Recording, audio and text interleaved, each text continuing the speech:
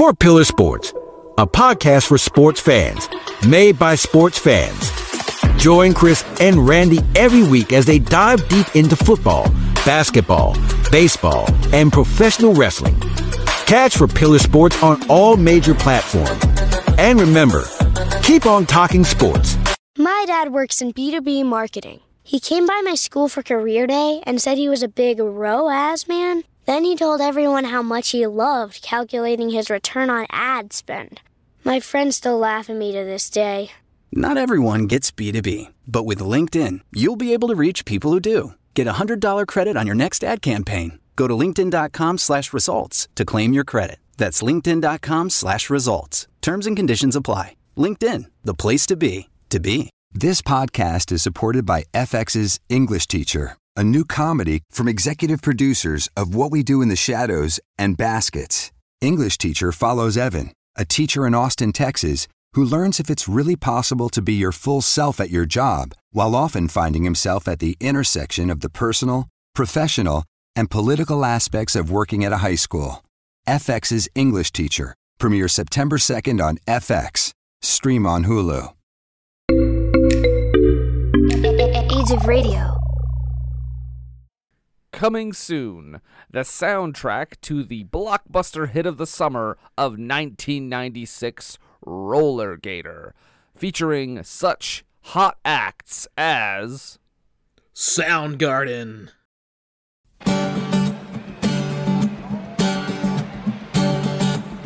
Alice in Chains.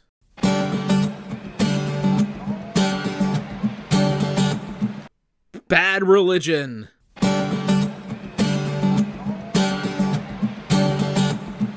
Pearl Jam.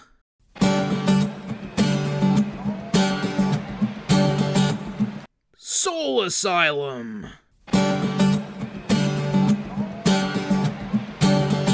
The Foo Fighters.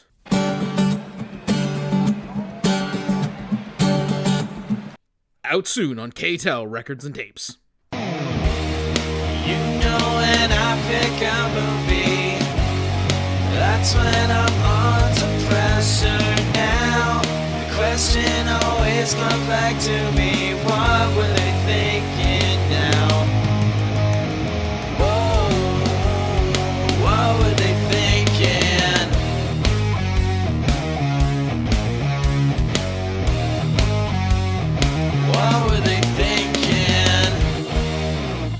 Ladies and gentlemen, welcome once again to the What Were They Thinking podcast, our 250th episode.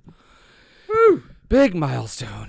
And uh, wow, we've got a heck of a way to celebrate it. Uh, I am uh, Brendan, of course, and joining me is the uh, the slingshot to my PJ.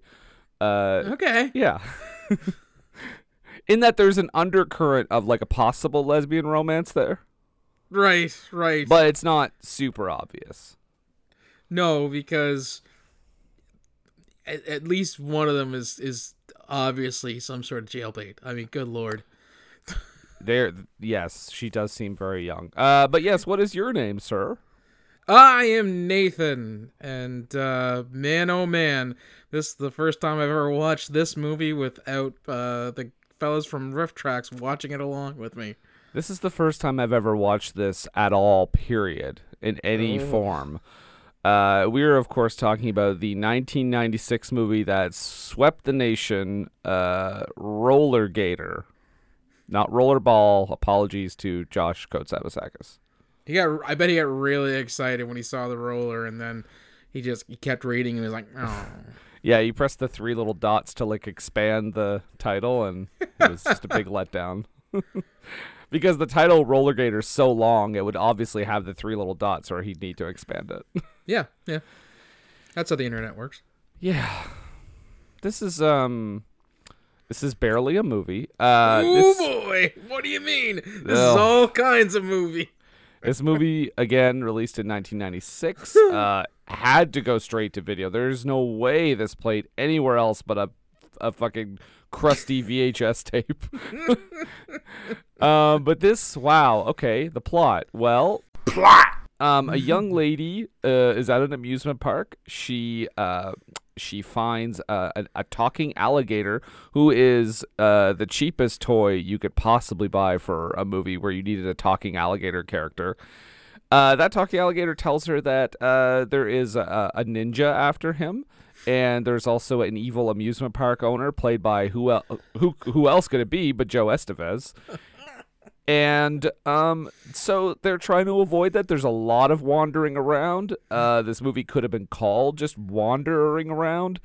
Uh, Wandering somehow- around to guitar noodling. Right. Uh, yes. Uh, there's a there's a karate instructor, uh, a girl named Slingshot, and uh, a lot of Swamp rapping. farmer. Don't forget the swamp farmer. Swamp farmer played by uh, celebrated thespian Conrad Brooks, and hilarity ensues. Unintentionally. Wow. Uh, well, I mean, should we just get right into this? I mean, this is. Please, let's. Oh boy. Okay, I just want to get this out of the way right off the bat because it's it's throughout the entire movie. This movie's soundtrack is literally the same guitar noodling. It's like the same like what? Like would you say like two or three bars? No, he, he. There's a good portion of it. They do switch it up, but it's almost like they just hit a a, a wah pedal or something like that. So you get kind of the same uh chords, but it's you know it's distorted, so it sounds like you know as opposed to the. I I do this professionally, everybody. It- it's amazing. Great job. Better than the better than the actual soundtrack that I heard in this movie. Well, this oh, thank you. This plays throughout the entire movie. And when I say entire movie, it does not stop. It does not it goes over the dialogue. Sometimes you can't hear the dialogue. Uh, it's it is so pervasive in throughout the movie that if you watch the RiffTrax version uh spoiler alert during the credits while it's still going on uh there's a bill and kevin and mike are all like blasting away machine guns like they're trying to kill the guy playing the guitar yeah, it's it's crazy. It plays the entire time. It plays over dialogue. It plays over what uh, seems to be like I mean in in terms of the movie seems to be important scenes that we should be able to hear, but a lot of times you're like it's like I felt like an 80-year-old man watching this movie. Like, Oh, "What?" Huh? yeah for sure So I just want to get that. So that is pervasive over the entire film. So we start off, and clearly the filmmakers went to a local amusement park and didn't get a permit because it does. It looks like they are. This is guerrilla filmmaking the whole time. Um, th- it does not look like anyone else knows that they're there. I don't believe the extras are extras. I think they're just people that are there. Um, aesthetically, uh, Neil Breen would look at this and say, "That looks cheap." It's true. At least Neil Breen filmed in his own home. Yeah, Well, we start off in, in an amusement park. Um, it's a magical day, of course, and at Kidland. is that the name of it? Didn't you see it? Yeah, I'm. I'm Oh. assuming that was that that was the name of the park, but it could have been like a, a section where, you know, the rides are more geared towards little kids. But I think that was the name of the park, which negates later when um our villain, played by Joe Estevez, says the park's named after me. So I'm like, your name is Kid? Chi Chi Kid Dennis. Chi Chi Kidland? So Um. Okay, so Kidland. I didn't know that. That makes it. Uh, that just adds another layer of weird to the whole thing. Um. so we see a young, attractive blonde lady, uh, who we later find out her name is PJ. We don't find that out for a long time, but her name is PJ. Oh And my we- goodness! If- I was, if I had seen her in the '90s, I she would have been like my dream girl. Her and like Alicia Silverstone. it's cool because we're probably all still, but we're all about the same age, probably. Yeah. Just found that out. Alicia Silverstone's like two years older than me. I didn't even know that. Oh yeah, yeah. Well, she would have been. Yeah, because I mean, in Clueless, she was like, I don't know, what, 18, 17? Something like that. That makes sense. Uh, so we see her just kind of wandering around. We don't really know what's going on yet. We also see Joe Estevez playing. Okay, he keeps getting called Chi Chi, but if you look at the credits, his name is Chico. So I don't know if it's his dumb nephew that just keeps calling him Chi Chi, and his I actual name is Chico. I think it it's a um It's like a somebody named Robert is called Bob. Okay. I don't want to probe too deep into the like, you know, the the the nuance of this cinematic uh, classic, but so uh, Chico and the man is not present, so don't get excited. But Chico, uh, Joe Estevez is uh, walking around. It just again, it looks like they just found Joe Estevez at an amusement park yelling at children and just filmed it because he's like, "Hey kids, I love my kids, love my kids. Oh, all these kids are having fun." Like I just- leaving this this park's my home. It's my home. which I okay, not knowing anything about the plot, as he's yelling at them, "This park's my home. This is my home." I was like, "Oh, is he like a returning war veteran? Like, is, is he like coming back from battle? And this is his like first night on in the in this back in the small town, going to the amu- amusement park." and this is I guess this is where we first encounter the whole you know they can't mic anybody to save their lives No one. nor can they mix the sound to save their lives because combined with the terrible guitar noodling and the inability to use a boom mic or a lapel mic or something so you could pick up what he's saying during this opening scene where he's walking through and he's talking to people he's actually not only talking to patrons, but he's also talking to employees because he's telling someone to, you know, uh, to make more cotton candy and uh, you know to to make sure that they, you know, uh, I don't know, uh, cook the hot dogs right and stuff like that. But you can't hear because it's all garbled uh, because he's facing away from the camera and the guitar is playing. It's just it's so it's so bad. We It's always playing. It's okay though because we only get about 10 minutes of this part where they're just these two characters are wandering around an amusement park with no purpose whatsoever. Um so eventually we finally cut the tension that you you, you can cut it with, with a knife and we do. Um, is when PJ uh, uh, decides to take a dip into the ocean to, to cool off. And of course, when you go to the ocean, what do you normally see when you look up? A giant gate with a ninja guarding it, obviously. Well, yeah, you you. I mean, that's how you keep a private beach private in the states. You hire, you know, uh, ninjas to to guard the gate. There's I- even a no trespassing sign, but the ninja just shows that they take it really seriously.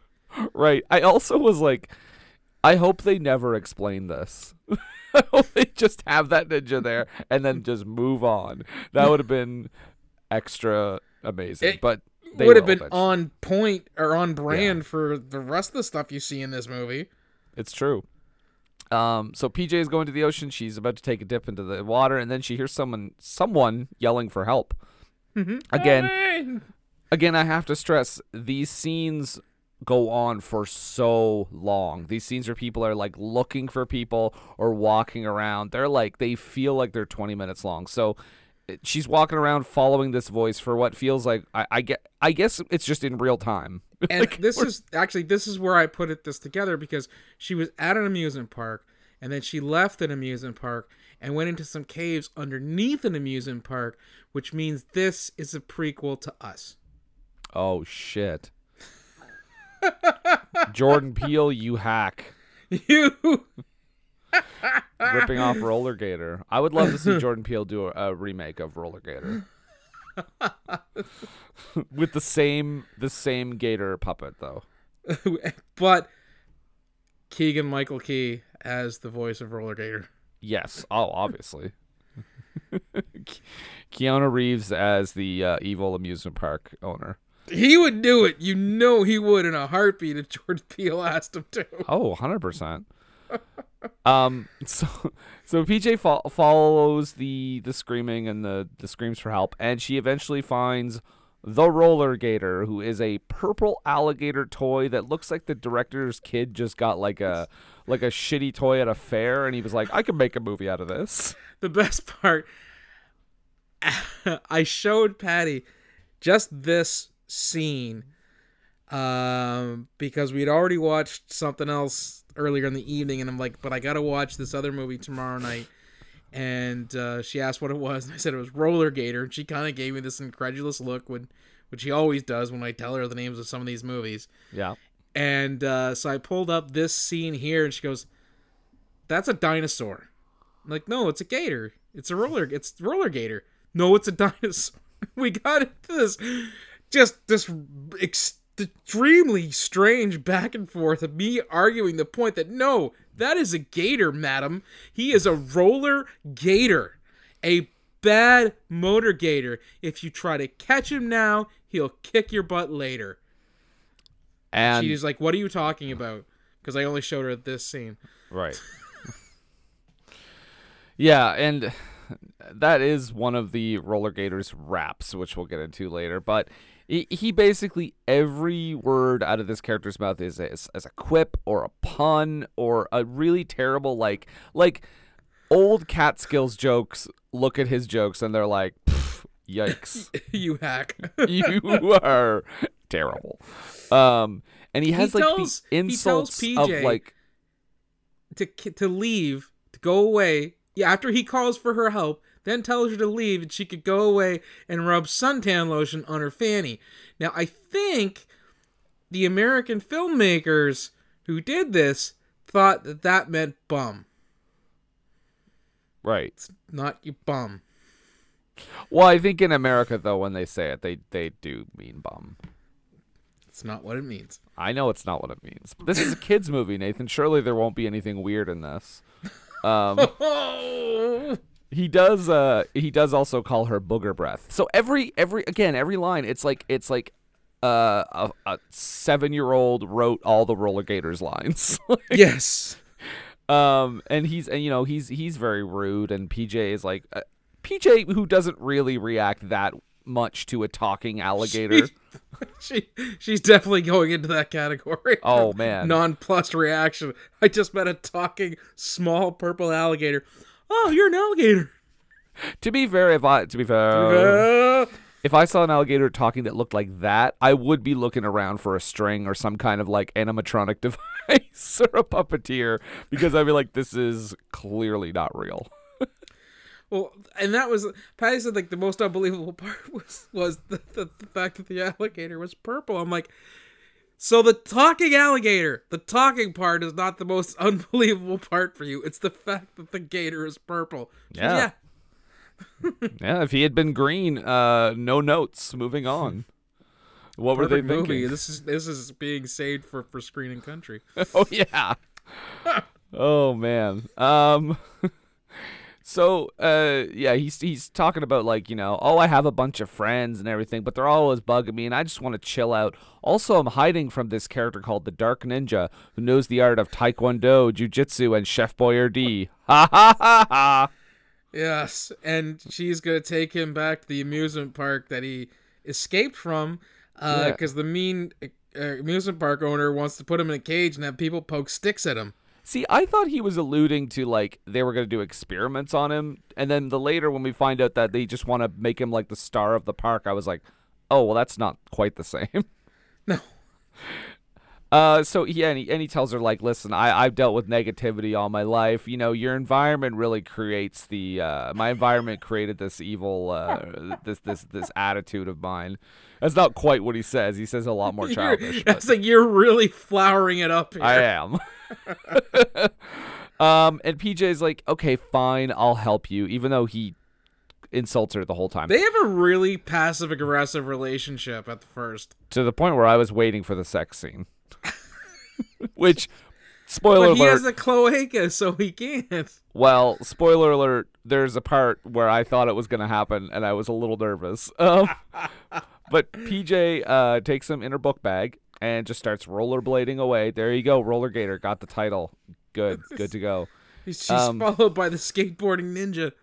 Yes, she is followed by the skateboarding dark ninja. She also uh just takes him on rides. Like she goes into like that that the, one of those like kids rides you find at like a, a shopping mall, like the little back. oh yeah, it's a ride spring. that he. That's yeah. I think she's like, here's a ride that's up to your speed, and Yeah. We get like a one shot of her just s- like sitting on this kitty ride that you would find outside of a grocery store, Right. holding him, leaning forward as the thing moves back and forth and like up, back, up, well, up and down, forward and back, up and down, forward and back, and it was like. I bet there's at least one web pa- website dedicated to fan fiction about just this scene. I was like, I, th- I think she looked like an insane person. It looked off-putting because, um, was- like, 'cause it was because she was also like stroking his cro- his gator bill while they did it, like to soothe him. Right. Yeah. On a ride meant for very small children. Um, yes. And her short shorts. Goodness me. Cut cut to uh, Joe Estevez again. Credited as Chico. His nephew calls him Chichi. I don't know what's going on. I'm just gonna say Chico. Uh, Chico is there. He talks to his uh, his Mr. Dennis. nephew, It's Mr. Dennis. to you. Oh, sorry, I, I. How dare I refer to Joe Estevez's character by first name? Chico talks to his nephew, uh, Reggie, who is like supposed to be haha like the dumb, uh, the dumb nephew, the dumb guy. Patty thought it was Dante from Clerks. A little bit, a little bit. Um, but no, he's the assistant hot dog boy or assistant wiener boy. And uh, and and it, the director of this movie, by the way, Donald G. Jackson, mu- must have thought the word wiener is like the single funniest word in the, in the English language because they only use it 110 times in this five minute scene. Yeah. Uh, and eventually, through this very long conversation, uh, under the promise that Reggie will be promoted to uh, to, to to Big Weenie, um, Top dog. that was that was insane. he said, "Yeah." He says, "You be promoted to Big Weenie or Top Dog, as Reggie says, if you help me find the Gator and that woman." To which I said, "How do you know there's a woman with the Gator?" See, we might he he might have seen it. He might have told him, but we couldn't. We could only hear conservatively forty percent of the dialogue because of the goddamn guitar. It's true, but he does. Yeah, but but I know he says you've seen the Gator and the woman, and I was like, wait, did you see that happen? If you saw that happen, you should know where they are. I'm like, there's only a couple logic holes in this movie. I'm just trying to find them. Uh, so Reggie, uh, yeah, Reggie is like, yeah, I'll, I'll, I'll, I, I saw, I saw them. I'll go find them for you, and he he does find them and says, "Whoa, a talking alligator!" To which Rollergator says, "Whoa, a walking Nimrod." Jokes. This movie's got them. Uh. Roller. They then bring. Okay, so then I expected. Okay, now that they found Rollergator, they know where he is. They know where PJ is. Uh oh, there's gonna be a big chase, right? There's gonna be big. He's gonna run away. They're gonna try to catch him. Nope. They arrange a business meeting. in what I can only describe as a porno director's casting couch. Oh man, yeah. Like it's got like that shitty wood paneling, you know, and a, a couch where thousands of dreams have died. Yeah, like I'm pretty sure I'm pretty sure I saw like Robert Evans on one side of the room there. but yeah, yeah, it's a really creepy little room. Actually, a lot of this movie reminded me of a porno because the acting is on that level and And it like, looks like it was shot through a glass of lake water. It does. And and there's like the corners are like darkened out for some Yes, reason. the hood, the, the lens hood uh, in several shots is is semi visible. so um and yeah and the situations are so contrived it's like it might as well be like hey i'm here with the pizza yep. uh it, it had real a talking cat vibes in that regard um okay where are we here so they're going they enter negotiations uh roller roller gator has some real big uh requests here before he's going to be his star performer He Wants a Uh, he- jacuzzi. he wants a jacuzzi, wants a red Ferrari. He wants, and this was disturbing, an all expenses paid trip for he and PJ to a dirty swamp. And I was like, he wants to fuck her in the swamp. That's which is not a euphemism. It's just No. a location. no, he just wants to go into a swamp and have intercourse with a human. Um, he also asked for cable TV and a free carnival pass, and uh, you know he's starting to waver here a little bit. Oh, free carnival pass. Okay, okay, okay. And then Rollergator says, and you know the whole park's gonna be built built around named me and after named me." after me, and that is just the last straw. And then inexplicably, Chico starts choking on his own tie. His tie got caught in the desk because I think he takes the contract away and puts it so Gator can't sign it. Yeah. And get the park named after. And when he he shuts it, he he slams his tie in the desk as well, which leads to this bit of hilarity.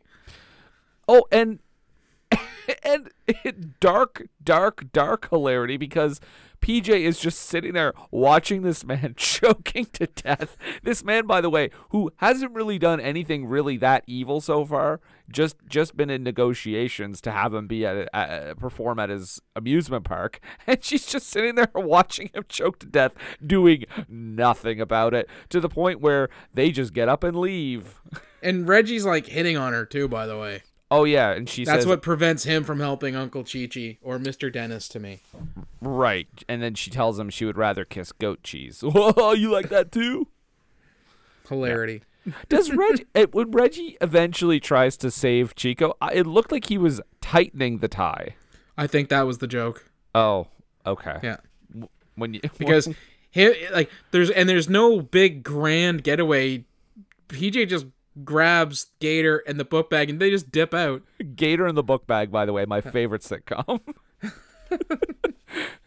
I like to think. So wait, would that also would the book bag also talk in that show? Well, I I I think the book the book bag is a plot contrivance. The Gator's always in the book book bag so you can hide the puppeteer. Okay. I, it made me think at several points. There's times where PJ's like she's out in, in the in the world and standing up, and the book bag's on her back, and the Gator's talking, and I'm like, the puppeteer is like ass level, like f- with his face and her butt. I I hope hope that the puppeteer was uh, respectful or her boyfriend. yes, I, I I sincerely hope that to be the case, but it was 1996. It was the '90s, and It- those were some short shorts. It was 1996. It was low budget, and she was wearing a sports bra for most of the movie. Yep. Uh, that was a choice, definitely made by the director.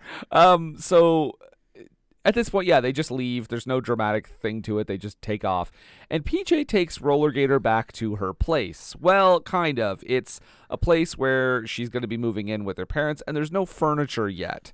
Um, she says, you know, her parents are arriving soon with the furniture. She just came into town early uh, to stay with her aunt and just get a feel for the area. But like, we can chill out here. And I'm like, okay, number one, either she's like a Jeffrey Dahmer esque killer, or number two, this is the sex scene coming up. Because she says, "What do you want to do?" And and I was scared. I got a little scared. And then she's like, "You know, you want to play Parcheesi? Do you want to play?" Pogs. Pogs, uh, which is even a kind of dated in 1996 reference to make. 96, yeah. It's like an 80s thing, right? they More would have no no. Pogs was a '90s thing. early 90s, though. I think. Uh, yeah, like well, I don't know, like 90, yeah, 92, 93, I suppose. I suppose this could have been filmed in 1990, and we would never know. No, it's true. But he says, No, I don't want to play any games. I want to do impersonations. And I said, Oh boy, this should be fun. He's doing all the impersonations that, that because since this is a, a movie directed at kids, he's doing all those impersonations that kids love. Like I Love Lucy, uh, Ricky Ricardo from I Love Lucy. He does Terminator. Does he do Colonel Klink? Uh, no, I actually have this noted as uh, this is his uh prophetic John Travolta impression. Jolly good, jolly, jolly good, jolly good. Oh, right. Welcome to Hollywood. Yes. which Rollergator predicted the fanatic. which accent is better? that's that's a question that will haunt mankind for all eternity. And then he, I think he ended it up with, uh, Oh, he does a 1920s gangster. he does a, yeah, he does like uh, Edward G. Robinson. Yeah. Yeah, Shane, yeah. Again, all the kids, all the kids love Edward G. Robinson. and then he, and then he finishes up with a with an Elvis impression, Oh, and he also does which an impression. is the only one that he actually changes his voice for. Right. He also does an impression of uh, an evil ninja, to which he says, "I'm an evil ninja. Hiya, hiya." Yes, He does an impression of a character that we haven't heard speak yet. but they des- Oh. she deserves uh their uh scorn and derision because she is the villain. Uh, uh, oh, the evil ninja. Yes, The of evil course. ninja, yeah. Um, so after that painful uh, demo reel from the roller gator, uh, we cut to uh, Conrad Brooks in the movie playing the swamp farmer. I don't know why he's in this movie or that character. I, I, I, I mean, they say why he is, but it still doesn't make a lot of sense. He's just kind of looking all over the place for Rollergator in the swamp. He, all, all of his inner thoughts are outer thoughts um, because he's by himself. And when you're not such a great, maybe, or experienced filmmaker, you tend to rely on a lot of people just speaking everything they're, they're thinking. Yes. Um, but we don't get much of that. We go back to the back to the main plot, I, I guess, and uh, PJ gets stopped by some girl claiming to be a, a. Well, I guess she says she's a karate instructor. Wearing a Taekwondo headband. Yeah, yeah, And also, okay, so but it's not the Dark Ninja, which I was it's not. No it's about. it's it's not. And i was as well. I thought it was a ruse by the the you know the that's her without her ninja gear on. Because f- for the establishing shot we get like a kid's playground. And then she's walking through in like full like denim and stuff like that with nunchucks sticking out of her back. Yeah, through kids are playing and she's just walking through their playground like um you know Marshal Dillon but instead of six shooter she's got nunchucks and again, I can almost guarantee none of those children knew they were in a major motion picture. right They were like, what, "What's the camera there? When are we going to Charles Entertainment Cheese?" uh, but yeah, this girl is like, "I'm here to steal Rollergator for Chico." Uh, but Rollergator charms her by calling her ugly. but hold on. She does say what she's gonna do and she whips out her nunchucks and Yeah. starts like doing nunchuckery I guess. And then she's just like first I'll do this and then she's like showing off those. And then she just throws the nunchucks away. Which is an infuriating thing that happens more than once in this movie. Where where people have weapons and they just toss them to the side This they're all about they're all about fair fights in this movie. But he does. But he call, yeah he calls her. Well, first of all, he, he says like your face is ugly or something like that. he says okay he's, he's like i i don't want to hurt anybody and he says oh if you don't want to hurt anybody you should put a bag over your face ha ha ha ha ha ha Which I'm like, uh, unless you're making the character an obvious like troll or goblin, that joke doesn't really work. 'cause she- I mean, she's an attractive woman. she's I a don't. very attractive woman yeah, I don't understand that bit at all. Yeah, anyway. much, much so later when she shows up in like her workout gear to do her Mm-hmm. karate stuff or taekwondo stuff because taekwondo and which leads me uh, again to another movie where the martial art is misnamed and just given some just given the name karate yeah, don't we don't have a we don't have a research budget. just call it karate they're kicking and they're fighting it's karate It's karate. Yeah.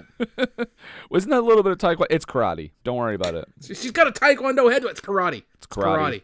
Just like that movie where uh, that girl had to make out with her brother. It's karate. It's like, oh, and you know, uh, she does reveal that the the evil black ninja was once her one of her students, Right. the And she- ninja, the ninja who studied ninjutsu, Mm-hmm.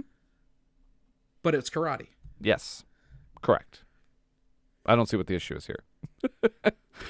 um, but in this scene, yeah, uh, this this girl eventually says, like, you know, yeah, you know, you do seem pretty harmless. I mean, I heard, you know, Chico told me that Rollergator put a bu- uh, attacked a bunch of people in the hospital. Sent fifteen people to the hospital is what she right, says. right.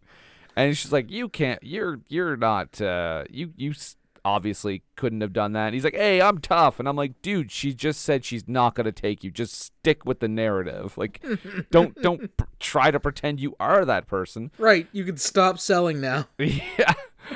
Uh, so she's like, okay, uh, I won't take him. I, I'll I'll help you out. Uh, even though Chico promised me he would build a bunch of karate schools uh, in exchange for my help. Um, That I I'll- could teach karate at, but I clearly love taekwondo. Yeah, it's interchangeable. Everyone knows it's all the same, right? Uh, but and the but the all she also I'm pretty sure she said she's gonna help PJ uh, do some defensive training in kung fu. So I think there's three things here oh going god. on. And Rollergator, of course, at one point refers to the Dark Ninja as the Dork Ninja because he's fucking hilarious. Right, As you said before, seven year olds wrote his lines, right. and Um, and and thirteen year olds uh, were the cinematographers. Oh uh, anytime PJ Slingshot or the Taekwondo karate lady were on screen. Oh, hundred percent. And and someone's uncle was on soundtrack. so um, we cut to uh, Reggie talking to Chico, telling him, you know, I can't find that karate instructor that knows Taekwondo and teaches kung fu anymore. I don't know where she is. She's off the radar. So Chico, and, meanwhile, Chico's on the phone with, I guess, his accountant, and he's arguing about like, oh, I got to raise the ticket prices. I don't want to raise the ticket. This is my park. Why do I have to raise the ticket prices? It's a very confusing. Well, he can't. He says he can't raise the ticket prices anymore because attendance is already down. Yeah, and then, and then why do we have to then hear his entire lunch order? I'm I'm guessing so that we can get past the 60 minute mark okay. and, he, and make it a feature film. and we get this stupid reoccurring joke about how there's a hot dog shaped like Elvis, and I'm like, how, how, how, how? Yeah, I don't. I if you said like, I, I don't know, Funnel almost, cake. yeah, waffle, Cotton candy. Hell, I'll even give you candy apple. almost anything but a hot dog. Yeah, like th- they don't come out misshapen. They're they're, they're it's it's it's well, I not to be gross, but it, it's it's it's mushed up stuff that didn't make the cut as a as a chop or ground beef put Right. into a skin.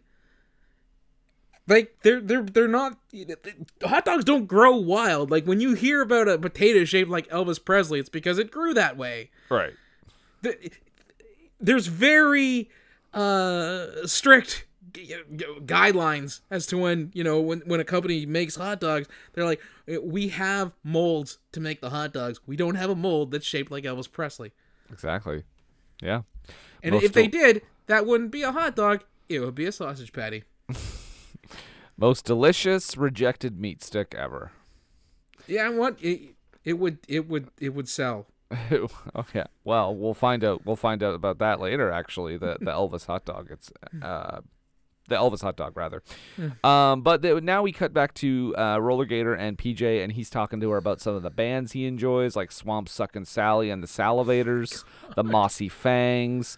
He makes a joke about K Rock Radio, Croc Radio. Get it? get it Holy fuck. uh, This one, my note is holy fuck. Enough with the puns and the quips. I can't. I literally can't take it anymore. well luckily they gave you a break because next up we get gator rap the birth of gator rap Oh, please. Do you do you indulge. remember in that time in the mid '90s when the when the Gator rap craze swept across the globe? Oh, do I? I always wondered what movie started it, and now I know. Now you know, huh? And that's half the battle. GI Joe. Um, yeah, the Gator rap. Well, do you know the Gator rap? Um, if I remember correctly, the Gator rap is boom, tch, boom, boom. Tch. I'm a bad motor Gator. Kick your butt. No, sorry. I'm a mean roller Gator, a bad motor Gator. Try to catch me now. I'll kick your butt later. Yeah. Boo, tch, tch, boo, tch, tch. As Brent would say, bars. right. Hopefully, bars that serve heavy amounts of alcohol. Fuck. Oh man. So uh so he does Gator rap. Um the Dark Ninja then appears out of nowhere like a like a diamond cutter on on a skateboard. Um and and is chasing uh PJ and Rollergator while they're on rollerblades and she's on a skateboard. What in the world was this? This was the slowest chase Right? I've ever seen. also like you gotta take into account PJ's on rollerblades now barring that she doesn't encounter um a steep incline Right. or uneven ground she can easily get away from a from a skateboarder Yeah, I think the Dark Ninja would have a better chance just running. no no i mean she, obviously she's gonna need some sort of like she needs to be propelled forward at a, at a rapid pace a bike would be better Yeah. Uh but a skateboard is is definitely not the way to go I, I also like how PJ is is supposedly running away, but like I don't think they told her what the direction was for that scene because she's just kind of casually strolling on her rollerblades. She doesn't look particularly scared. Right, if she was legitimately trying to escape, she would be pumping leg like crazy. yeah. But thankfully, we had we we neglected to mention, but there was a random passerby that awkwardly stopped and listened to that whole Gator rap, and she God. she's also on rollerblades just behind the Dark Ninja, and she takes out a slingshot and takes the Dark Ninja down. And that sound that that that sound cue that Brendan just gave us is not an exaggeration. That No, was uh that was pretty much what the sound anytime she used a slingshot was a boink. Yep. Um, Almost as funny um as the axe strike from Silent Rage. almost. It's not quite there. the same realm. What a weird moment in that movie. Fuck. um. So, so PJ thanks her for the help, and they have this amazing dialogue exchange, which goes like this. th- this is their Thank- meet cute. Yeah. Thanks for your slingshot. Well, it's not the first time it's come in handy. well, my name's PJ. Oh, I'm Slingshot. Uh, Slingshot who is her name is Slingshot is uh very she's astounded by the ventriloquist act that PJ must be doing with this uh, talking alligator. That's so fly. She says. she her delivery is magical. sure, sure is Neil. oh my god. Um, but she, uh, she, yeah, she thinks it's it's a ventriloquist act, and then finally she's like, "Wait a second, that is a real talking alligator." Cut back to Chico and Reggie, and Reggie uh, tells him, you know, appears that the karate, taekwondo, kung fu instructor has defected. To which I noted, news travels fast. right. And but he has some good news is that there's a busload of nuns that have arrived to go look at the hot dog shaped like Elvis. Why? Why? Maybe it was shaped like the Virgin Mary. I don't understand that joke. Hey, you know what? Don't underestimate. I mean, if they're, I mean, if they're Southern Catholic nuns, they could be super into Elvis. And um, if if uh, Beavis and Butthead Do America has taught us anything, uh, nuns are are cool with popular culture. I mean, I think a lot of movies have taught us that same lesson, including one we've covered on this show, the classic, uh, by comparison, Ready to Rumble. Right? They were the farting nuns.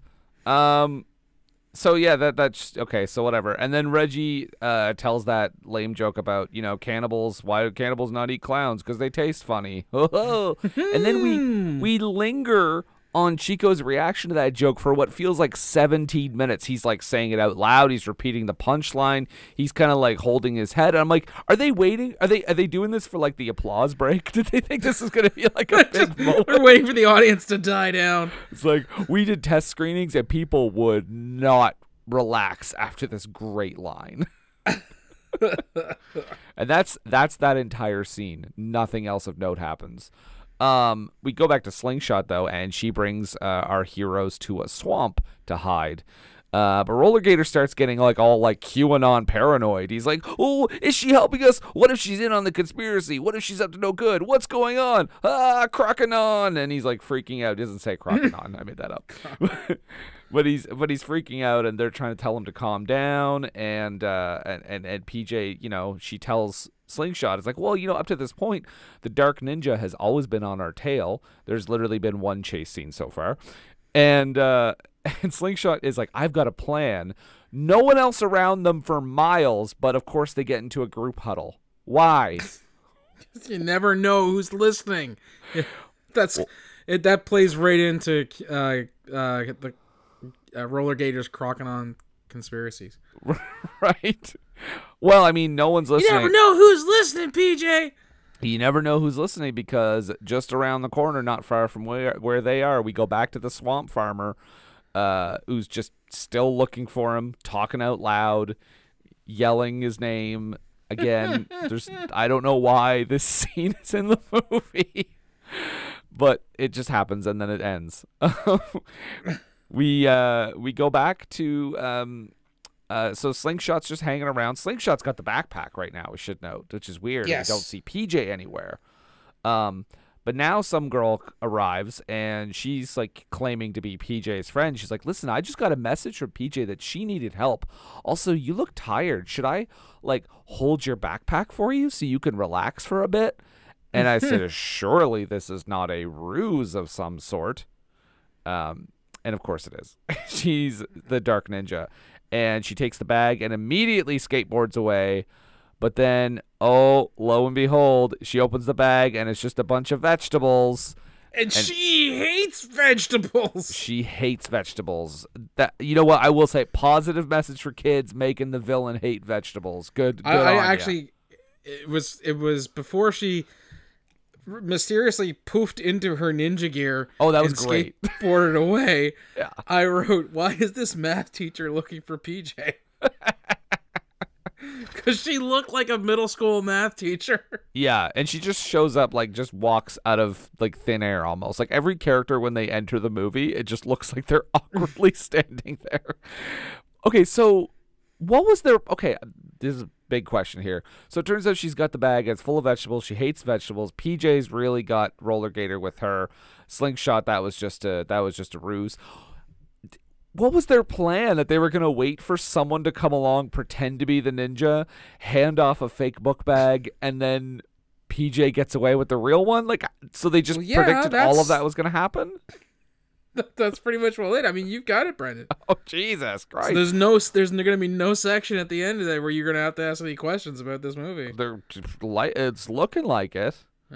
Um, actually, that's that's on you, man. You got to ask. Oh, me it some- is. Yeah, I don't know Yeah. what you're gonna. I don't know what what you can even. Uh, well, you you're an, you've answered all the questions, so. so I've anyway, seen this movie the most between the two of us. you have. Uh, I, I want to say I've concerned conservatively I've seen this movie 10 times, but only one time without a riff track. oh Jesus. It's the the RiffTrax is hilarious. I mean, I don't doubt it. Um. So yeah, the plan it doesn't really make sense, but anyway, whatever. Fuck this movie. So, um, shortly afterwards, we get a real point of contention for me that I, I find it hard to care about our, our heroes at this point because Rollergator's getting really like uncomfortable, and he's like, I'm tired of being in the book bag. And they see a mother who, first of all, is on rollerblades, uh, walking a baby carriage. I don't Sorry, I remember this scene. I don't know about you, but I don't think I've ever seen that. It's probably and uh, as someone who's never lived in California, it's the most California thing I've ever seen. It just didn't It's even. it's it's a mom on rollerblades, rollerblading the, the baby in the pram through the LA River spillway. yes. And they steal the carriage when she takes the baby out of it and put Rollergator in it. And I'm like, you just stole a mother's stroller. That is low. and then the worst part is he's in there. Roller They don't even keep it. Yeah, that's the thing. The worst part is Rollergator's in there and he's being a dick, and PJ's like, "Well, that's it. You're not gonna be in. The, you're back, putting you back in the backpack." Back in the book bag. And they abandon the stroller. it's like she committed theft, guys, She did to an innocent rollerblading mother in California. in California in the nineties. Ugh. So, um, uh, weird. Uh, okay. Oh, speak- that's weird. The next scene will be a delight as we cut back to Mr. Dennis's office. Oh, uh, do tell. What could possibly be weird about this next scene? I yeah, I I didn't. I thought it was a battle toad. It's a frog. It could have been a Goomba from the Super Mario Brothers live action movie. Oh, you the- mean you mean the the character that Chico is having a very casual conversation with about how he can't he, he has to fire him. He has to let him go. right? Because apparently he's been pretending. He's been telling all the women uh, of the Midway, uh, the bearded lady, the Siamese twins, the uh, strong lady, and I think there was another lady, that if they kissed him, he'd turn into a prince. Now we can only take Mr. Dennis's word on this because they couldn't mic or ADR the giant frogman. I couldn't hear a goddamn word he said. And also, I was confused. And that's what I mean. You can't be doing that. And and that's not even that's not even a bit. He literally was trying to talk and no one mic'd him. Yep. Also, or or bothered to do ADR. I was really confused by like at first I was like, wait, is it supposed to be a giant frog or is it supposed to be a man in a frog costume? Because if it's a man in a frog costume, that raises so many other questions that like, wait, so that looks like a costume, but Rollergator is clearly a real talking alligator. And if he's if this is supposed to be a real frogman who can walk around and talk and is voluntarily at uh, Mr. Dennis's Kidland amusement park, why the hell does he need Rollergator? Right? I don't know. You have a giant talking frog man. I it don't looks think like something straight out of like Final Fantasy or another like role playing game. Oh, you know what? I know why. I figured it out, Nathan. That? the the Rollergator is purple. So that that's the and that's the most unbelievable part, right? that's that's why people are like, "Whoa, you're not gonna believe your eyes." He's got a purple talking gator. The talking part's not super unbelievable, but he's purple. What about that talking frog over there? Nah, he's green. At me, he's green. What an asshole. Get out of here. What an asshole. oh man. So yeah, that scene goes by. It, it doesn't make any sense, of course, as every scene in this movie. Um, we we see the swamp farmer. Oh, he's made his way to the city now. He's getting close. I kept thinking, like, is the swamp Beauregard, the swamp farmer. We is, find out. is that his name? His name Beauregard, yes, to his friends. I really thought the swamp farmer was gonna end up being the main villain by the end of the movie. I thought he was gonna end up trying to kill Rollergator. Uh, but the swamp farmer's in the in the city now. Um, Beauregard. Uh, Rollergator does some more raps. Uh, Nathan, do you have any of these raps written down? I don't because this was his this was his new one. Oh, his his hot his new hotness. He's, he's talking about like the, the swamp and the flies and things like that, and I didn't I didn't copy that down because I was I was trying already to drink myself into oblivion at this point. Well, you also told me that you're you're more of a fan of like his old stuff. You feel like he sold out a little bit later in life, right? Yeah, well, that's just it. Like once you start getting radio play, and and you obviously you're gonna he's compromised his artistic integrity. Yeah. Like back when he was a, a mean motor gator, and if I tried to catch him now, he'd kick my butt later. I knew then he was a, a true gator of the streets, Right. right? And then you know when he gets he, he gets this thing here that he's put out where he's talking about uh, the love of the swamp and the flies and the grime. It's like you know what? That's I mean you're just posturing at that point. Don't don't don't don't spit on my shoe and tell me it's raining. Okay, Rollergator, putting you on blast here. I also feel that like it was weird. He did all that work. He did all tho- that work with those children's charities, and then that story leaked about him stealing a, a stroller just because he had a sore back. I mean, come on. I'm just uh, we you know what? Here's the thing. At that point though, I feel like he was making enough money that he didn't have to steal the stroller. That's that's the real crime of it. Like if people were like if he was, you know, back when he was a mean motor gator and if you tried to catch him now, he'd kick your butt later. He didn't have a dime. Right. So I mean, he'd have to steal a, a, a baby stroller if his back was hurting. But by the time that thing's a hit, I mean, he's already a worldwide sensation. Mm-hmm. I mean, you know, ladies want him, men want to be him. He's got money coming out the cloaca. He can afford a stroller, but he steals one because he's that entitled. It's it it, It's it's, it's sad when your Yeah. when your heroes fall like that. it, he's truly the Winona Ryder of the Gator rap world. Well, you know, up until that, I was actually a big rap and hip hop guy until this happened. And as soon as I heard about it, I took a, just a hard left, and I'm like, you know what, punk rock all the way. Right. I'm not going to be duped again uh, by some bad motor gator who says he's going to, if I catch him now, he's going to kick my butt later. And then he writes some stupid song about the grit of the swamp and the love, and he steals a, a pram from a, a lady who, who's just rollerblading her kid through the LA River spillway. As you, know, it's- do. As, you, as you do in, in 1996 Los Angeles. And he just steals it. Like she, like she could, she could just go buy another one. I'm not going to use my millions of dollars to buy a pram. No, no, no, no. I'm going to steal hers. And you know what? She was probably some working mom, single, because it was the '90s in LA, and you know. Teen pregnancy was rampant at the time, so she, she's probably like just, just struggling to get by, just trying to make MP in LA, one of the most expensive cities in, the, in America to live in at the time, still is, and he steals her baby carriage.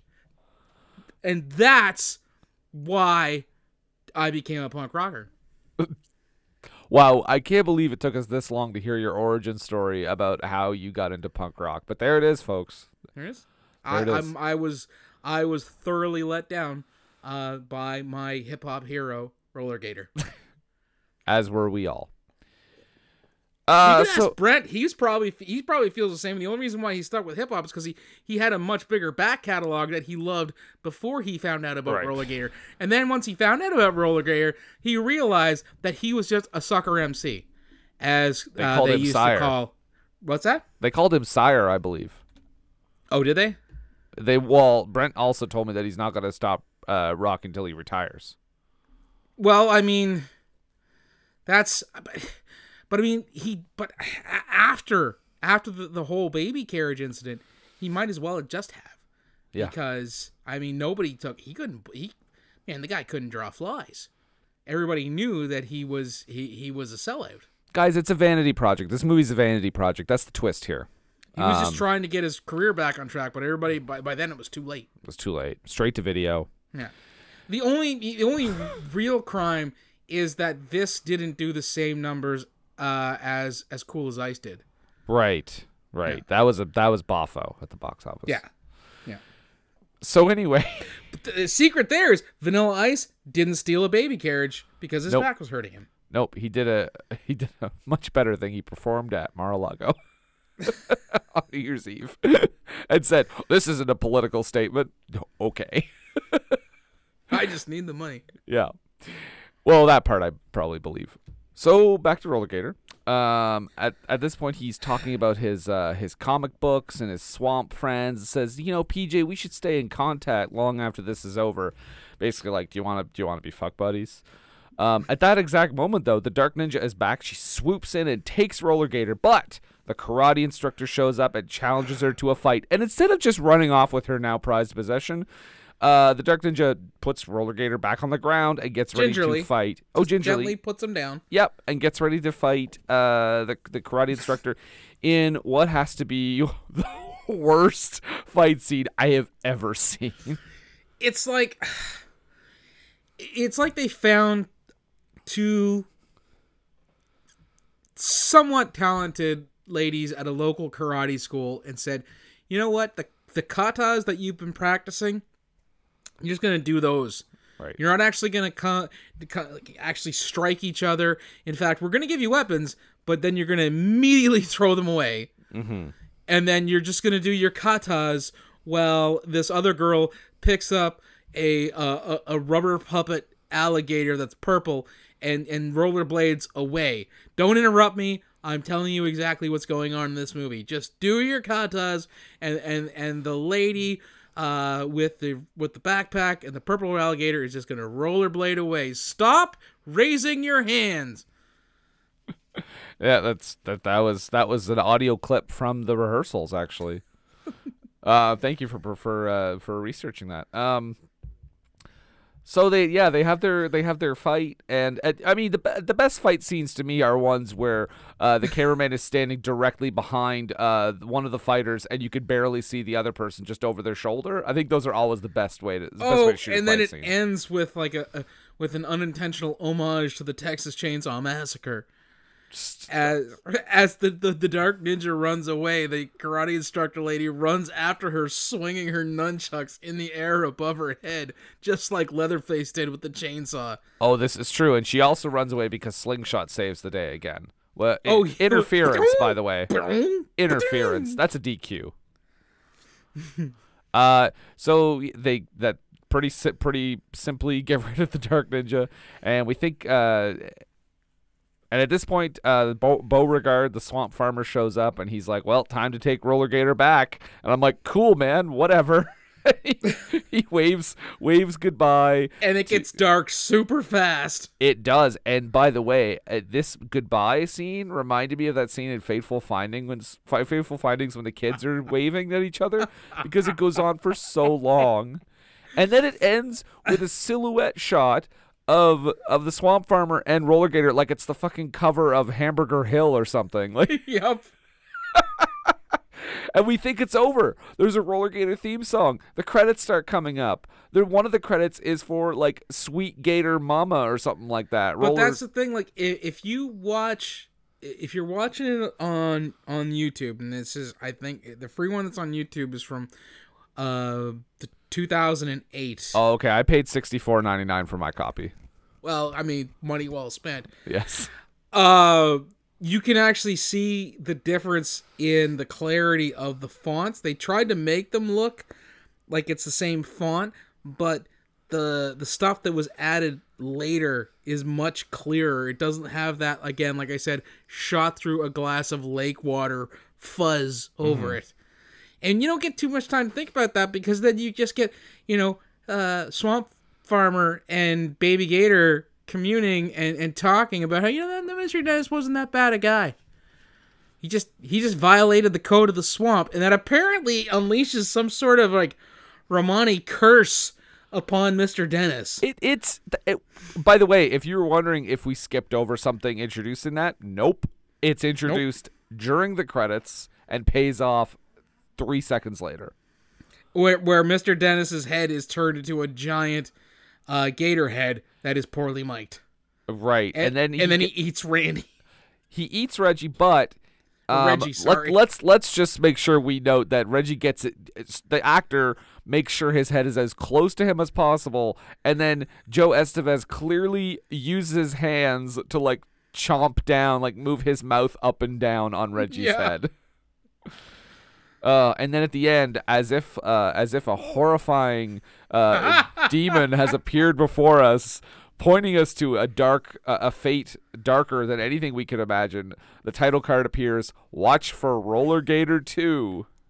And I'll tell you what, don't ever stop watching for Rollergator 2 because Hobgoblins 2 got made. Oh dear.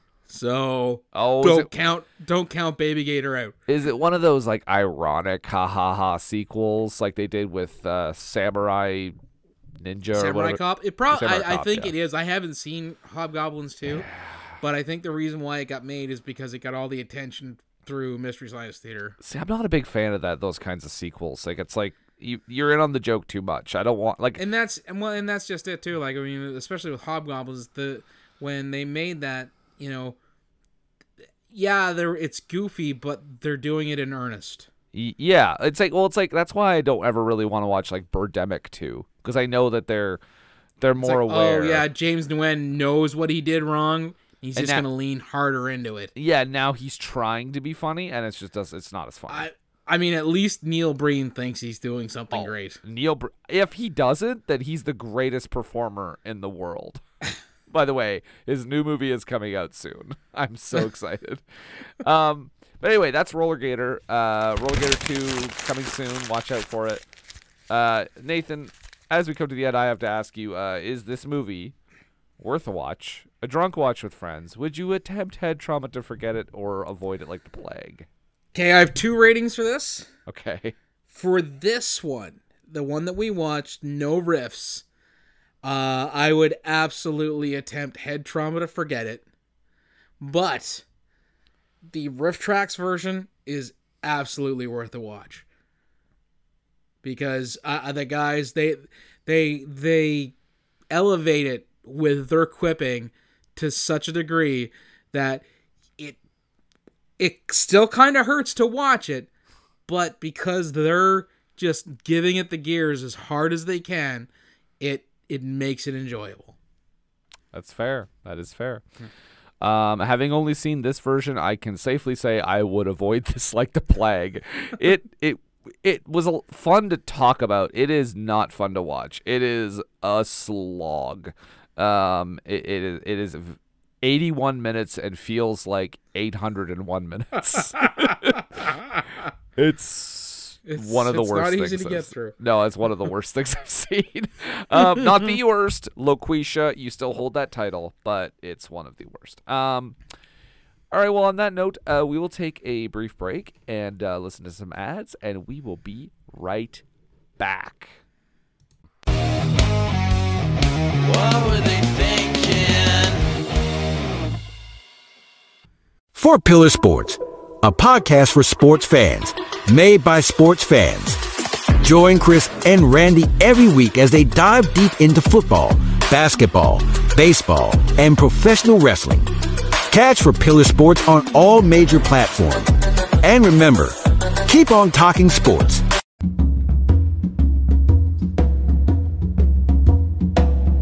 The great visionary leader of India, Mahatma Gandhi, said, It is health that is real wealth, and not pieces of gold and silver. Listen to the Healthy Grocer radio show on your favorite podcast platform. We know that health is our greatest wealth, and we will be discussing all aspects of natural healing. Explore everything from supplements, superfoods, and healthy lifestyle choices to help conquer stress and boost productivity. Top industry experts and natural health professionals join us for a deep dive into our healing journey. You can find the Healthy Grocer radio show on demand every day wherever you listen to your favorite podcasts. And remember, health is your greatest wealth.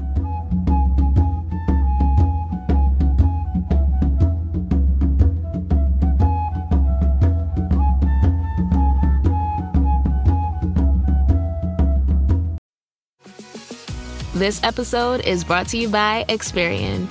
Are you paying for subscriptions you don't use, but can't find the time or energy to cancel them? Experian could cancel unwanted subscriptions for you, saving you an average of $270 per year and plenty of time. Download the Experian app. Results will vary. Not all subscriptions are eligible. Savings are not guaranteed. Paid membership with connected payment account required. NPR bot, please take us into NPR mode. Do do do do do do do do. Rub Santan lotion on your fanny.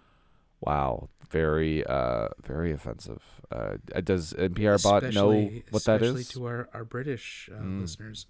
I know exactly what it means, bitches. Oh God, PR bot. Uh, well, let's try to get the, the, the bad taste of that out of uh, out of the air here. Uh, Nathan, it's time for the low haiku. Uh, what is the low haiku all about? Uh, the little haiku is uh, 17 perfect syllables uh, to uh, describe the movie that we've just been talking about for a little over an hour. Right, exactly. Uh, and uh, would you like to uh, start us off with your uh, low haiku? I would absolutely be delighted to. Rap's real criminal. He shot Biggie and Tupac. Mean Motor Gator. Thank you. Thank you. Thank you. Thank you. And please, Brendan, uh, Yes. uh, uh, do uh, delight us with your low haiku. Okay.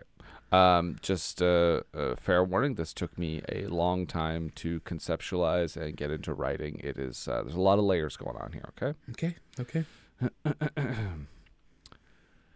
Do do do do do do do do do do do do do do do do. Very good. I see what you, you did there. You you uh, you verbalized the uh, uh, the riff that is repeated several times throughout the movie, Hmm. constantly ad nauseum. Some would say. I I hope all would say. Mm. I hope. Uh, NPR bot, please take us out.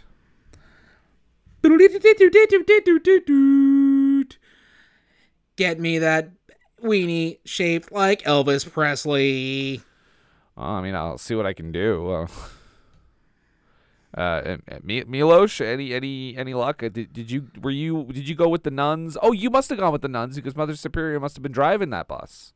Oh, she she really she she did like the the the the weenie shaped like Elvis, um, and she tried to contort mine to make it look like Elvis as well. I asked her to stop at sideburns. She did not. If you ask me, it looked more like the Big Bopper.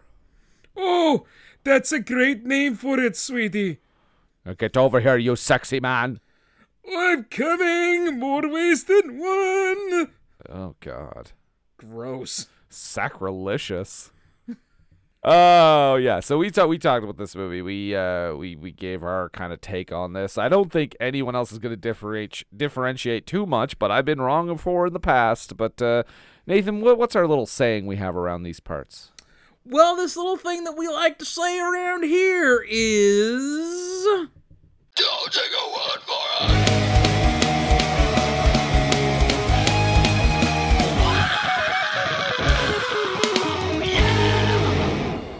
That's right. That's what we say. We say don't take our word for it. Um, problem is, uh, we don't have a whole lot going on at Rotten Tomatoes. But uh, Nathan, I understand you're over at the Internet Movie Database. I am an IMDb. Yeah, yeah. So uh, why don't you? I mean, these are all going to be audience reviews, folks.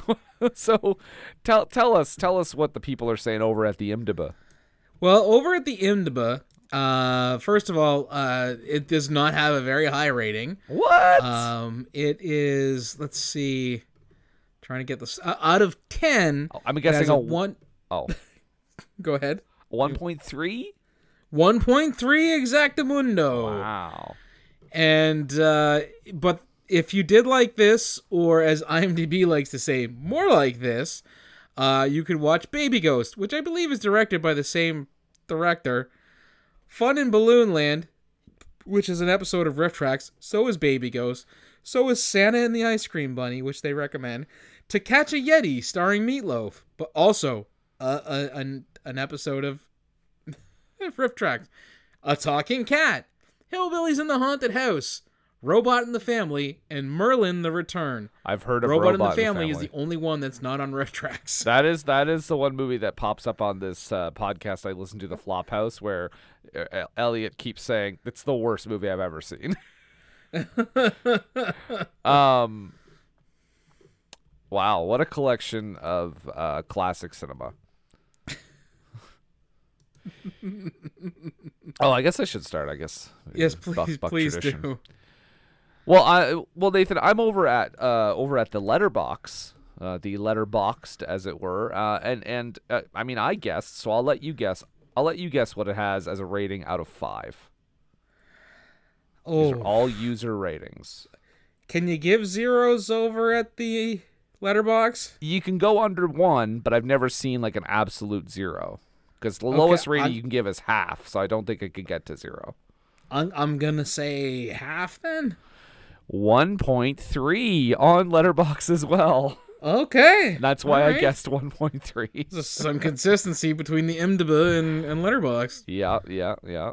Although this one's out of five, so they, they actually think it's two point six on IMDb. That would be the Oh, okay. translation there. Um, yeah, but let's let's take a look here. Let's see what the people are saying. Uh, I'm sure uh, these are going to be very genuine uh, reviews. Um, okay. This review comes from Robert, and he gives it five stars.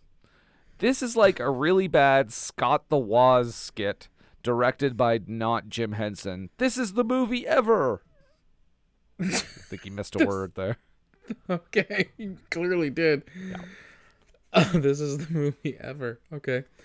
Uh, well, over at, on IMDb, uh, Mahorg 2018 Wow. uh, wrote in December of 2019. Oh boy, howdy! Get ready for what's coming your way. Okay. How did anyone anywhere on this entire planet find this piece of unfunny, badly directed, terribly acted, and I won't even mention the Gator unspecial effect, think this needed to be made? Just terrible from beginning to end. And when I read the director's quote unquote credits, he also did the Rollerblade 7, which I ridiculously rented from a mom and pop's years ago and have regretted ever since. From the talking, quote unquote, Gator's horribly annoying voice to the non emoting of PJ, who only has two credits on IMDb, to the rest of the non-able, to the cast, uh, sorry, non able to act cast. This is just one horrible film. The absolute only way to watch this RiffTrax, which at least makes it funny. All right. Uh, I have one that's a little bit shorter than that, uh, but it made me laugh. It's just a one line review uh, from Brody G, who also gives it a full five stars. And his review simply reads Directed by Francis Ford Coppola.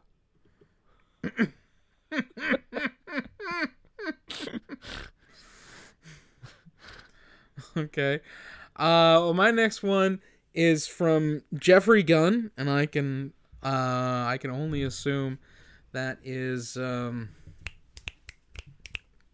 James Gunn's cousin. All right. And he writes, should be a zero.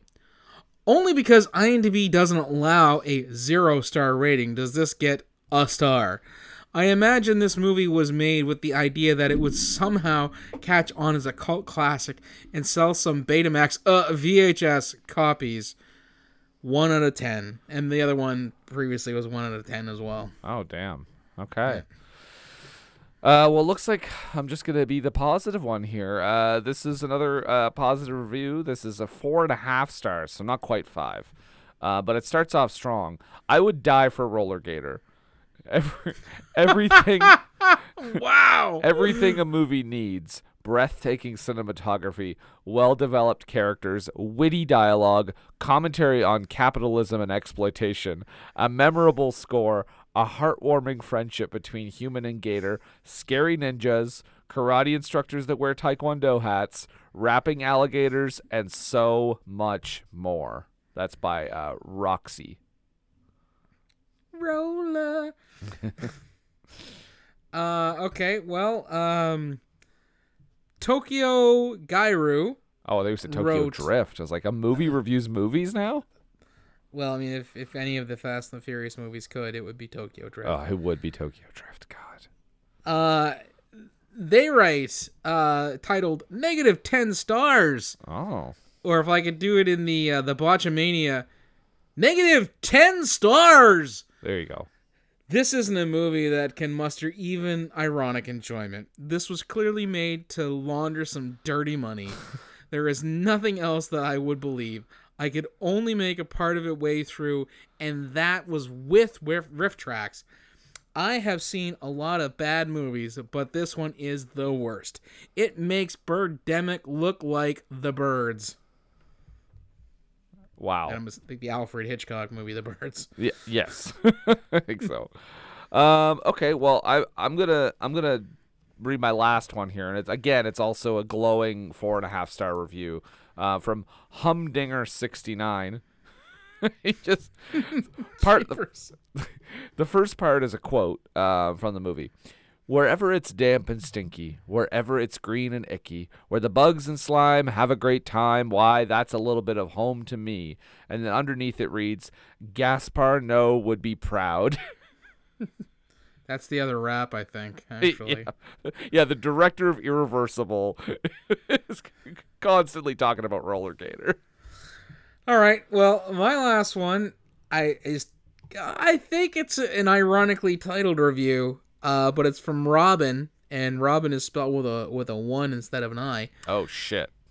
And uh, in in 2015, they wrote they titled this "Some films are a must see," and they write there are some films made that are must see cinema. Some fabulous storytelling through superb acting, talented direction to stunning cinematography. Sadly, Rollergator isn't on of them. I think they meant one, but on of them. If there was ever a film made not to be seen, then Rollergator meets all the criteria and more. It's appalling. Wor- words almost fail me. There are no redeeming features whatsoever in the film. There are some parts that beggar belief from the alligator himself through a to a painfully lame martial arts display. Oh yes, I forgot the soundtrack. Endless strumming away. Boo. I think they mean by someone undoubtedly a friend of the filmmakers who did it as a favor in return for a credit listing.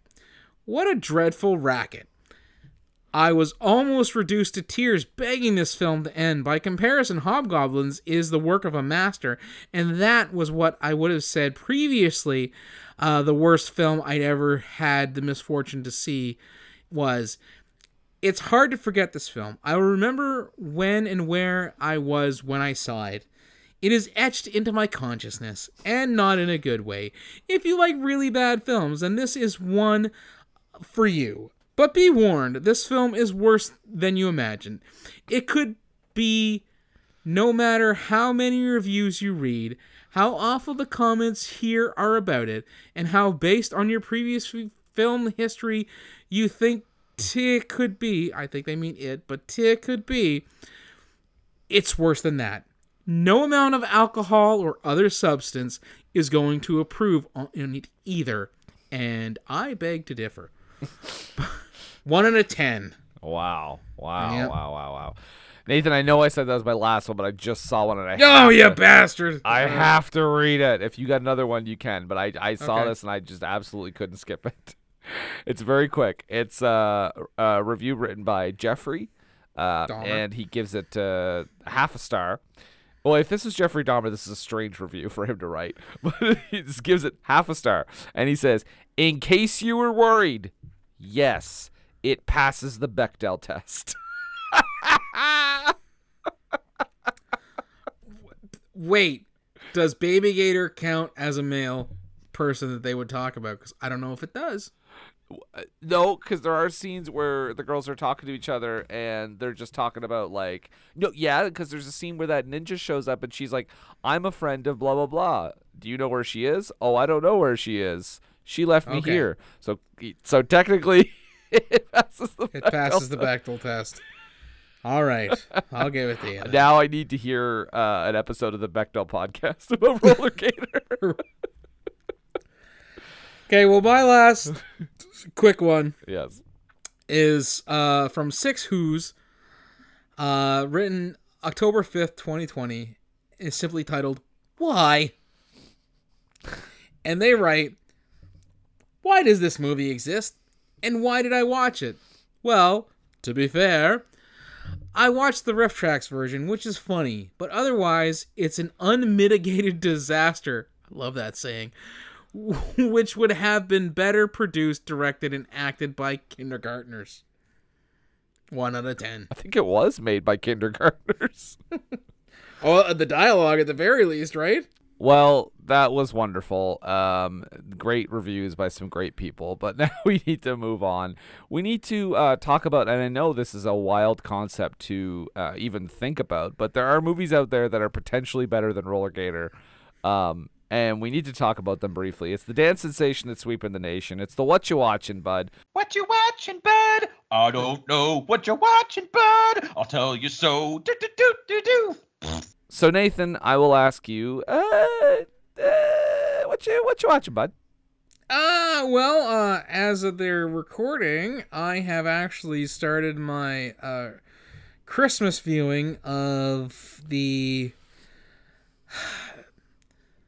I, I, a, I, I was gonna say triumvirate, but it's more of a qu- qu- quadrology, quadrumvirate. Quad- of- quadrilogy? Uh, and that's not a that's uh, no no because there's more movies in it than that. But it, it, it is this time of year uh, that I start uh, watching. You know, I, I when we're recording, I, I started watching like the uh, the Christmas send ups by uh, Mystery Science Theater, RiffTrax, uh, Elvira, and Cinematic Titanic. So like. I've been watching a lot of Santa Claus Conquers the Martians, Santa Claus and the Ice Cream Bunny. Basically, I've been watching Christmas classics that only I consider classic. okay. Well, I mean, uh, made better, of course, by the commentary. Yes, a, a thousand times better. and what about you, bud? What you watching? Well, I watched something that uh, couldn't possibly be more different from Rollergator, but interestingly enough, also has an animal in its title. Um, I watched a movie called The Lobster. Uh, this is not about a talking or rapping lobster. Rock. nope, it's not about. It's not based on the B-52s either. Um, this is a, this is a movie uh, starring Colin Farrell. uh, directed by Yorgos Lanthimos, who you may know, uh, uh, some of you may know as the director of movies like The Favorite, Killing of a Sacred Deer, and Dogtooth. All very upbeat, uplifting movies. Um, this is a, a movie where it's like a futuristic society, kind of, where um, basically the rule of society is everyone has to be in a couple. So everyone has to be in a relationship. Everyone has to be married.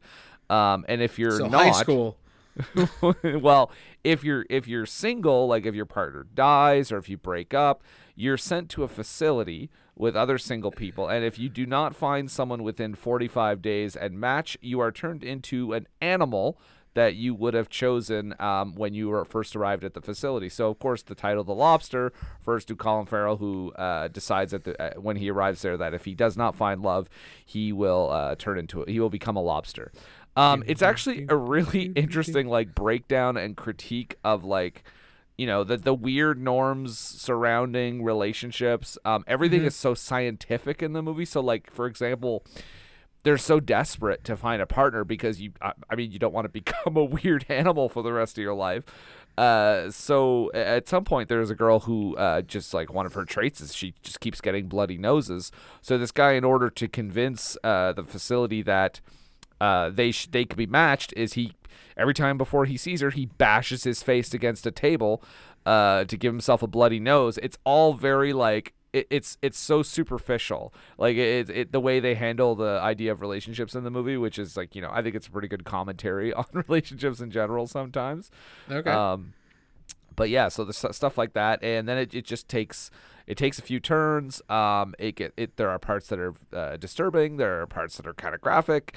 Uh, but it is a, a very good movie, and it, it's a movie. I think if a movie can make you laugh your ass off intentionally, and then five minutes later make you uh, react with "Dear Jesus," I think uh, I think that's an accomplishment.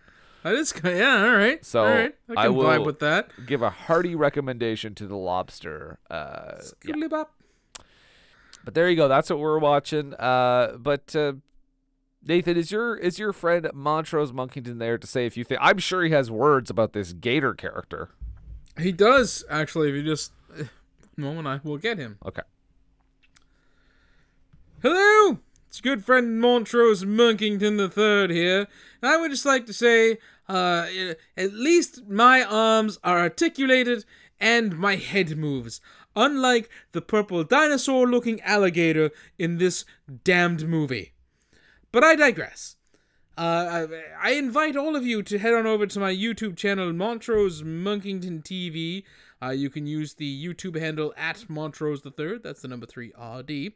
Uh, if you wish to. Uh, there, I have been talking about the Graps. However, I have recently acquired a Fight Plus subscription. So the Graps that I will be talking about, uh, more along the lines of of GCW and Black Label Pro, uh, as opposed to say uh, WWE. But I I I think I I think it will actually make for a more animated uh, discussion uh, with whoever is is uh, reviewing the shows with me. Uh, if you you could also be friends with me at the the Facebook group Montrose Monkington the Third Esquire and friends. And finally, uh, you could tweet at me uh, uh, on your Twitter devices at that old chestnut at Montrose the Third. Again, that's the number three RD. Thank you. More later.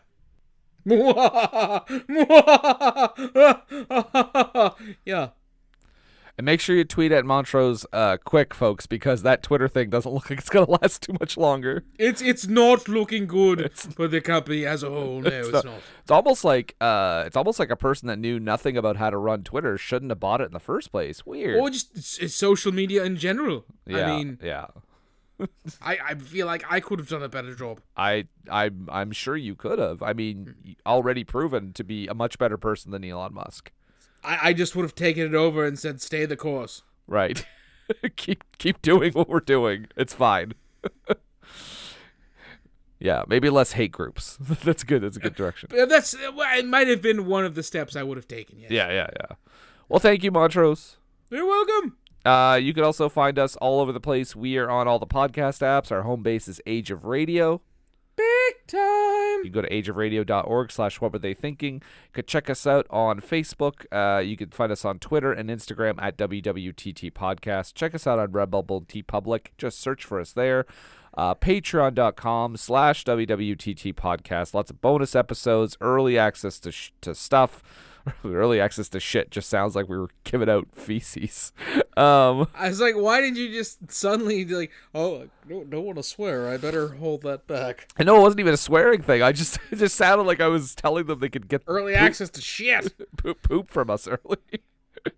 you don't want to get poop too early. You gotta let it, you know, solidify. Um, but Do you have to? Do you have to? I mean, it's Do you it's have to let it linger? fuck. but uh yeah so we we did Rollergator. We talked about it. It's done. 250 episodes man. Uh we're about to take Oof, we're about to take a, a, a much deserved break here. Uh there'll be some stuff on the feed. I think you'll get um our um our episode that we did on the live stream. Uh you'll get that. Uh, and you'll also probably get something from the from the patreon thing just to tease um to get you to to get you to you know give us money um but yeah I don't want to put it so crass as that. I like to be honest will with the people. to support the show. I like to be honest with the people.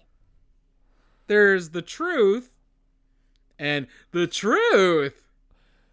Nathan, I you, make you a Simpsons reference. I was gonna say you pulled a Mariah too, doing physical jokes on. Uh, that's why I did the inflection in the voice. I knew it wouldn't come Oh, across. Okay. So Yeah, I'll, to get, I'll give Mariah those notes. Um, but yes, so we've reached the end. Uh, Nathan, 250 episodes. Rollergator, do you have any questions at all? Oh man. Okay, so uh, with a movie, the guy who directed it also directed Hell Comes to Frogtown. Oh, sure did. That's coming soon. And and with a movie where you have a uh, a, a, a cinematic stalwart in Mr. Conrad. And, and and in the movie where you had enough money to hire Martin Sheen's less talented brother. and in a movie where you have a meet cute of two very 90s ladies and they don't make out, Right? I gotta ask, Yeah. What were they thinking? Well, I saw my baby walking with another man today. Well, I saw my baby walking with another man today. When I asked her what's the matter, this is what I heard her say. See you later, alligator. After a while, crocodile. See you later, alligator. Crocodile. Can't you see you're in my way now? Don't you know you grab my style?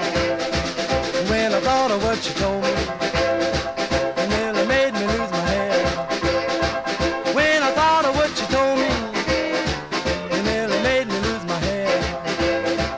But the next time that I saw her, I remind her what you said. See you later, alligator. While, crocodile. See you later, alligator. After a while, crocodile.